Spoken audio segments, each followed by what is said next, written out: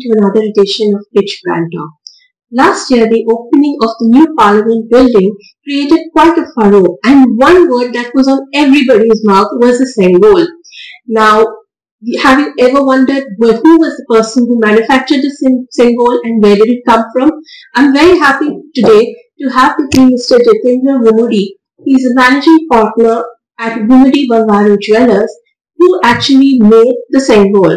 And for not just the Sengol, Vummidi is today a 124 year old company and a legacy which is well known to everybody based in South India, particularly in Tamil Nadu and Chennai. Sir, good afternoon, Mr. Jithendra. Welcome to Pitch Brand Talk. Thank you. Uh, I just want to start about, you know, your legacy. It's a 124 year old legacy. So how have you, you know, managed to keep the brand alive for close to, what would I say, 10, no, 12 decades. How do you, how have you done that? Firstly, thank you for getting us to be on the show. It's a pleasure. It's an honor really for the Sengol. You mentioned that uh, the Sengol caused a, a big furore uh, when the new parliament was opened. The, uh, the Sengol itself was made in 1947. Uh, it was uh, delivered on the 11th of uh, August at, at, the Chennai Central Station. It was then taken from there to Delhi, and the rest is history. It was then lost and then found again, thanks to the efforts of my brother Amar, uh, who uh, knew that the Sengol was made by the family, and he was, uh, you know, he took a lot of efforts to find out where the Sengol was, and he traced it and found it to be at the Allahabad Museum, and we went sent our representatives there we took photographs, we measured the Sengol, and then we had a replica made. And post that, uh, we also made a video because it was a, a, it was a great moment for the family. And uh, that video was circulated amongst our customers, and somehow this video reached the PMO's office. The PMO's office verified the, uh, the the contents of the video, and they said it was true that such a Sengol was made and was uh, given to uh, Pandit Jawaharlal Nehru on the day on the eve of the in, in, independence of India. And uh, the, the Prime Minister was uh, very keen to have the original Sengol uh, to be restored at the, in the new parliament. So uh, we were invited to Delhi to the PM's residence and the entire family was honored it was a, a, great event for us. It was a uh, see the uh, we we've uh, been told repeatedly, you know, what uh, one generation does uh, will have the effects on the next follow, following generations, and this was so true in our case. Uh, the second generation made this goal, and the fourth and the third generations benefited and honor, were honored of the work that was done by them. Um, right from the beginning, the craftsmanship or you know making sure that the the quality of the craftsmanship should be the highest was uh, the uh, one of the pillars on which the brand was built and uh, um, i can say proudly that amar and me uh, we follow the same uh, uh, pillar strength that we get from the uh, ancestors. We follow the same, you know, the efforts to make sure that the quality of the workmanship is top class even today. And we are, we have made a replica of the Sengol that is now kept in the Allahabad Museum where the original one was taken from.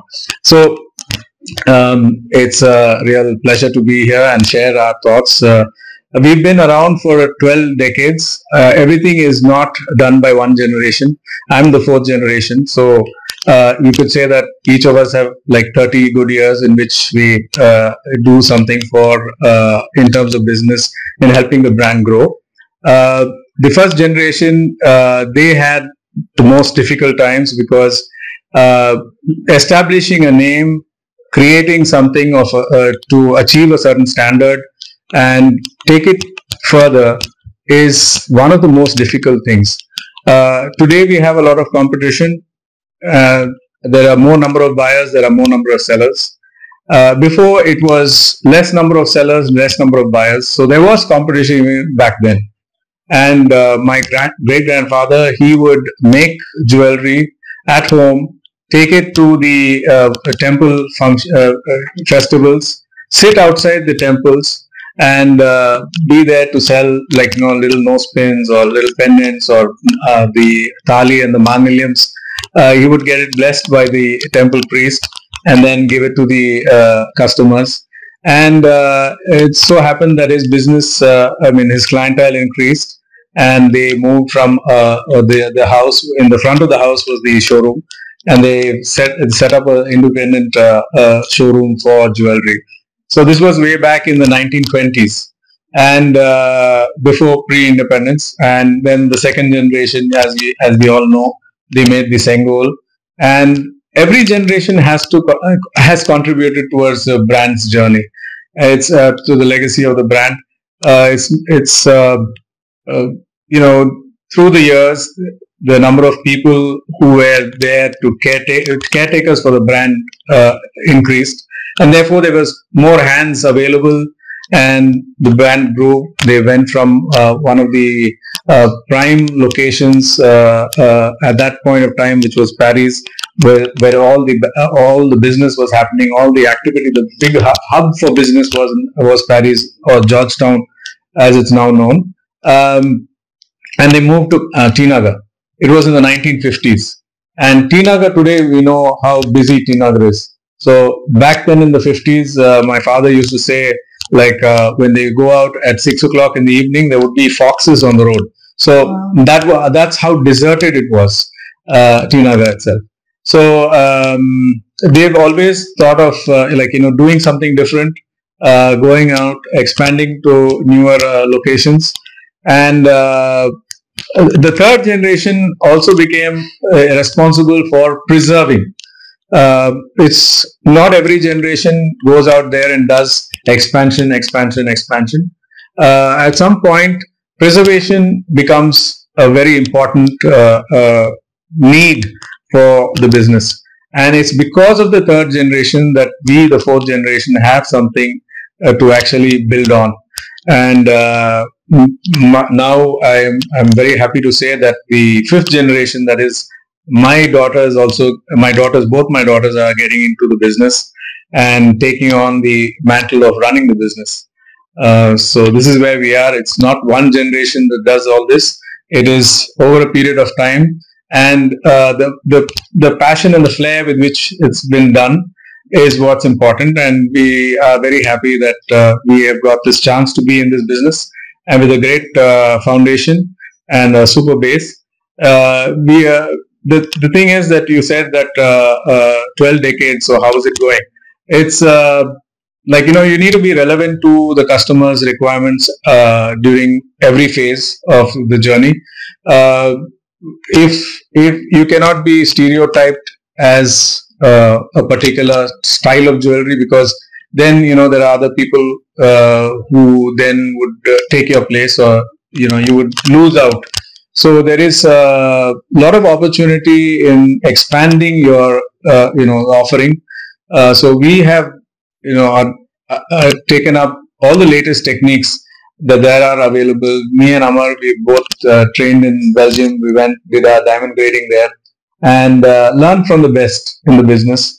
And we were able to pass on all that knowledge to our team and help build the, the name that we've got for diamonds today is is from all of that effort because uh, you know standardizing the process of selection and uh, then putting it to practice even after the jewelry is set making sure that every jewel is checked and uh, the standards of quality are met at, at every stage.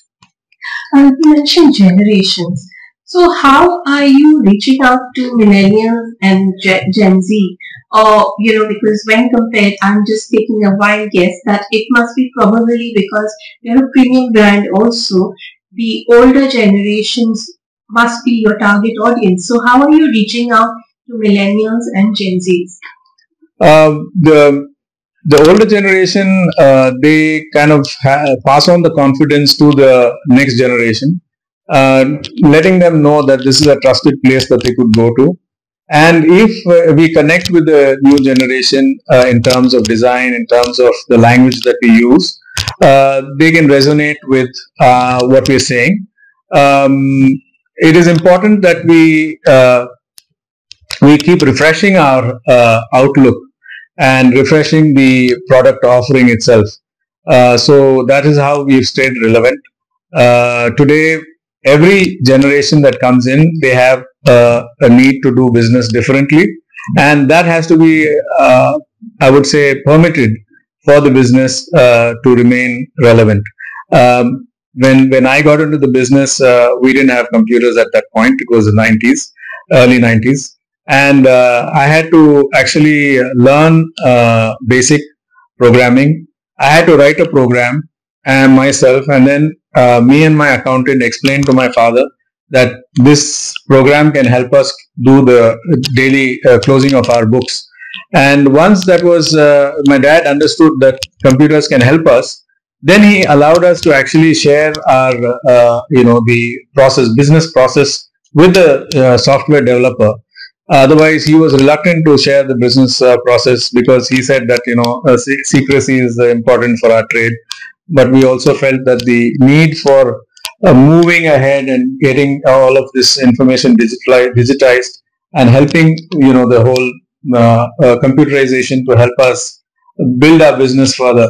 Um, so it, it, it's like this. Every generation will have a challenge, and uh, there will be a, there will have to be some clarity passed on to the uh, earlier generation for them to like feel confident about the change that was that's going to happen. Uh, now you know when you when Vummidi probably started, there wasn't that much of competition. Today you have both national brands and local brands as tough competition.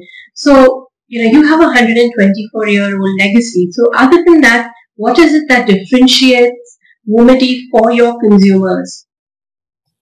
Uh, well, uh, I, like I said, competition is going to be there. It's uh, uh, going to help you to be a better jeweler. It's going to be uh, helping the customer to get a better deal. Uh, it's um, you know a business which is very close to the hearts of every uh, Indian. Uh, it's jewelry is entrenched in our culture, and so for us, you know, the thing is that as long as you are passionate about dealing with your clients, you know, understanding their needs, fulfilling whatever requirements that they have. And uh, uh, most important is after sales service uh, products which have been maybe made by your uncle.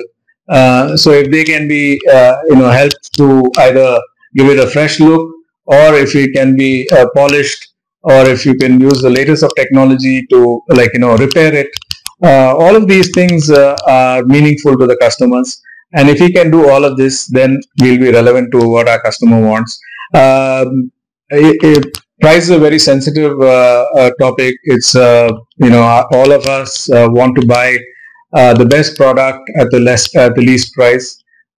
everybody is aware, like you know, quality cannot come at a discount, and they do. Mm, you know, they would like to pay um, the right price. That's a better way of putting it. So uh, if you give the right price, the right product, the right service, the right ambience, the right product offering. There's a lot of things that you have to do right, but there's no other way. For Indians, uh, uh, like you mentioned earlier when we had a conversation, gold is seen as a security. So, can you just tell us the recent budget that came out? Has what has uh, what how has this impacted your industry? Yeah. Uh, prior to the budget, the rate of uh, customs duty on gold was 15% and there was a 3% GST. Uh, internationally, gold is sold at a certain price. Uh, at, at, the end of the day, India was 18%. I mean, our gold price was 18% more expensive than the international price.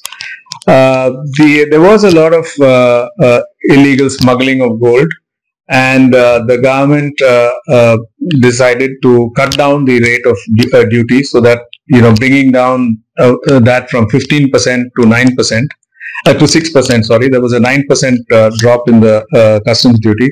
That has uh, significantly reduced the price of gold in India itself.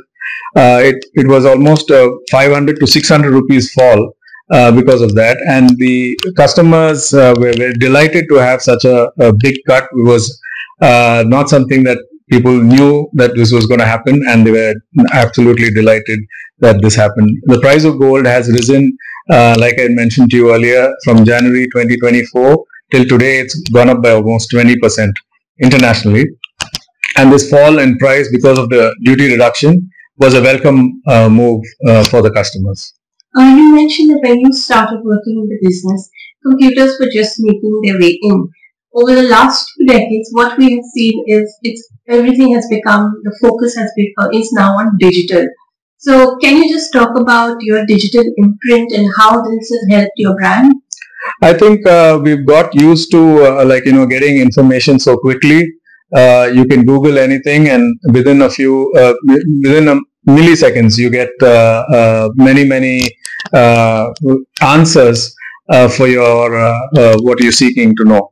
So I think with all of this information, we've got used to having you know data uh, being there for us almost instantaneously and unless you computerize and unless you uh, you know you get use the te- latest technology in terms of uh, uh, IT, uh, will you be able to uh, service the needs of a customer? Um, there is uh, augmented reality. There is lots of ways, you know, online sales, video calling. All of this is helping to offer doorstep service at the customer's home itself. But when it comes to jewelry, we still feel that you know touch and feel is the most important. So we've seen like every uh, retailer that's uh, uh, who was present only online having an offline presence as well. So I think uh, you know offline is going to be the model for everybody.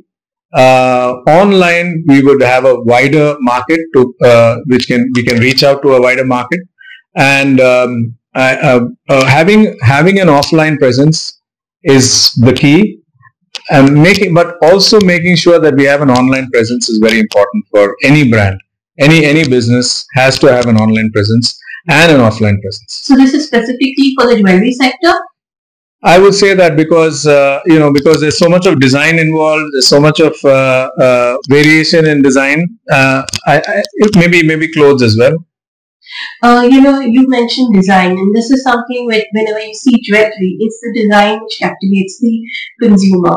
And growing up, I've seen uh, DJs, uh, you know, the campaigns on out of home, on hoardings, and also in newspapers. Now, how is the, your media mix evolved? Because there's a lot of digital also, which would have, which is now the key. Yeah. So yeah, yeah so the uh, the media mix is uh, today uh, print is uh, being substituted by uh, digital. Uh, of course, the his print has not been totally is not totally out. It is still is still in. there's a lot of visual impact that comes out of print. Uh, we are, uh, uh, you know, doing the uh, front of the showroom. That's important. Uh, being there in, uh, you know, on WhatsApp, sending out messages through social media, Instagram and Facebook, and any other platform that is where everybody is active on. are ways to reach out to the consumer. It's very quick. It's very fast you get your uh, likes and you get your uh, following you know what's happening. Uh, so um, all of this translates to like you know hitting uh, uh, not shooting in the dark but uh, trying to find out what is something that will really work and making sure that that kind of stock is available at the showroom at the offline centers. So all of this promotion that we are doing today um, it, it, it you cannot just uh, you know focus your attention on one particular uh, segment. It has to be 360 uh, the the proportion of uh, uh, engagement is varying today. Uh, like i said earlier the print is you know being substituted by other other forms. Um, so I think you you have to look at radio, you have to look at TV, you have to look at uh, print, you have to look at digital medias. So it's it's everything and in store as well. Yeah. Uh, you know, you mentioned having an online presence. Are you also now? You must be selling your products online. Yes. So what percentage is now coming via online versus offline? I'm we have about uh, 3 to 5% of our sales coming from uh, online currently? uh, currently and uh, um, like i said uh, every every store which is offline should have an online presence. Uh, the online uh, what it does is it creates that interest and uh, it moves people to actually go go in your direction uh, so um, you know this is what we're trying to do with the advertising as well. Like so if you were to be in the print media you're also doing that. Uh, you know you you're getting people to become aware of your brand. Probably you have something which is out there in the in the ad which is tempting for them to actually come and take a look or at least talk about it share it. And maybe somebody else will uh, uh, walk in because of that information being passed around A festive season is just around the corner.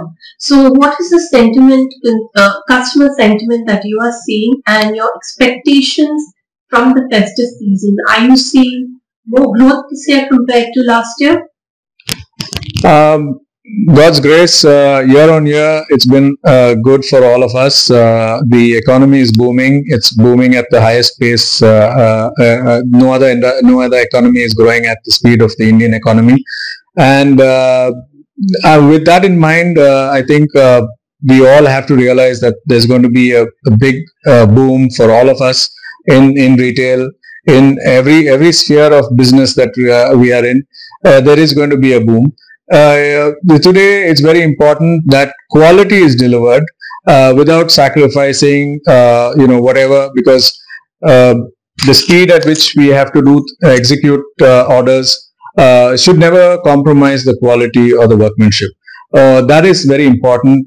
We are seeing uh, that a lot of indian brands are making it big in international markets.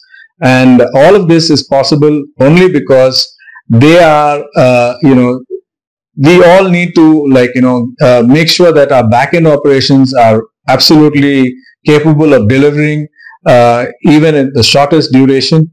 We do not uh, uh, make mistakes the possibility of uh, uh, making a mistake uh, should be down to nil But uh, what are your expectations from the festive season? Are you, uh, ex- you know, are you estimating that you will grow, say, by ten percent, fifteen percent year on year, and the consumer sentiment is positive? yes uh, i They think will open up I I think.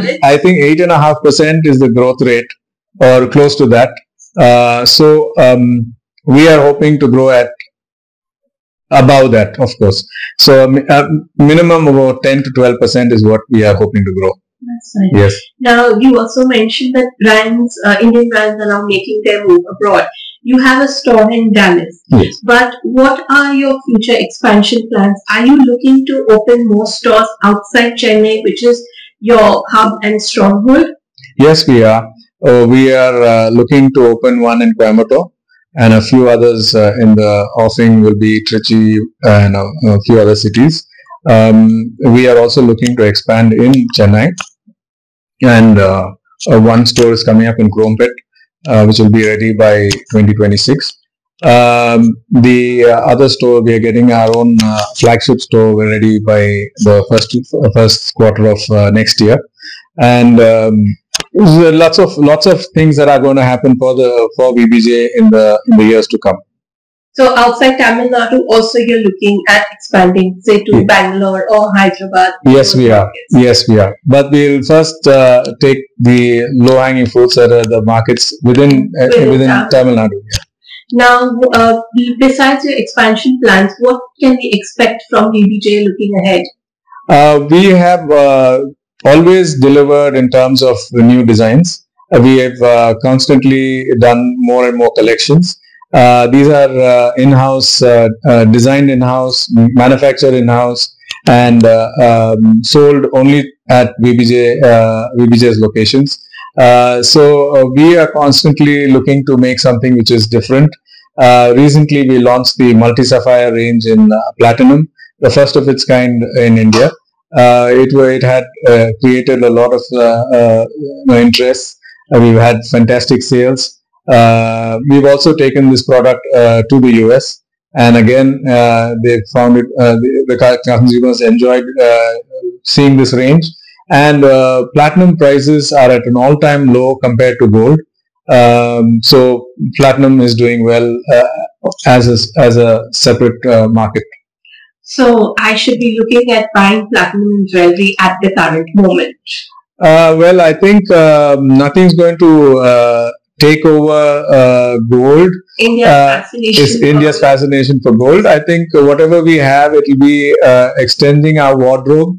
Uh, you know, you will have more uh, versatility. Uh, I think uh, you know some of us like uh, white, uh, the white in the, in the metal, uh, and platinum is pure white. So uh, there is white gold as well. Uh, white gold is alloyed, so uh, it can lose its uh, whiteness uh, over a period of time. Thank you so much, Anthony, for your time. It was a really insightful conversation. Pleasure is mine. Thank you very much. Thank you. Okay.